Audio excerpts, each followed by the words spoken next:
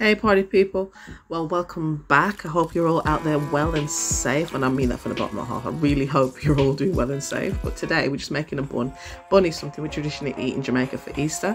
I just got some dried fruit, um, some dried citrus peel, and half a glass of water and some glacé cherries, blended them up.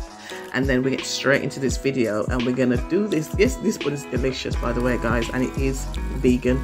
You find an ingredient that's not, let me know. But yeah, from what I know, it's vegan. plant-based butter. Half a block.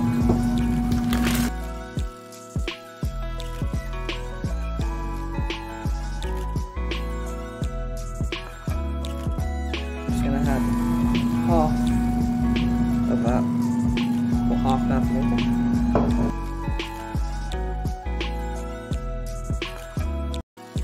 Just going to jump in here guys to let you know I've added half a cup of dark brown sugar to the mixture with the butter and let everything melt completely on a low heat. Do not cook it, you do not want caramel.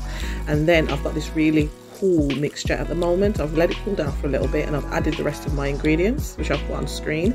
After I've done that I've left it to completely cool before I add the oil. Completely cool, like completely back to room temperature. You can put it in the fridge if you want to but you don't have to. And the reason for this, guys, is you do not want to add a hot mixture to your dry ingredients. That is a big no-no. It's just going to kill everything and nothing's going to go the way you want it to. So please do not add a hot mixture to your dry ingredients. Okay, guys? Like, share, subscribe, and make sure you come back and highlight your girl.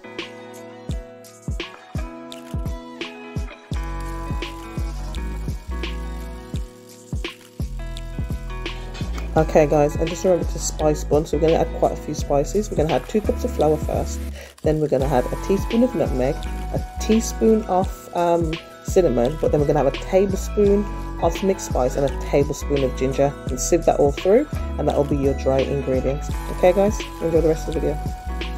Oh yeah, and do not forget that teaspoon of baking powder because it will be flat. We don't want flat.